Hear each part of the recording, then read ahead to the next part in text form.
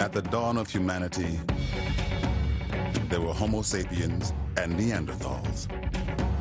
Neanderthals had bigger brains, better tools, better hair. But Homo sapiens had one advantage. They communicated.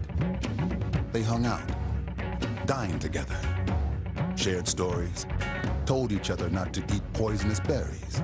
They made friends, so they flourished through love, compassion, and other themes found in chick literature. They became human.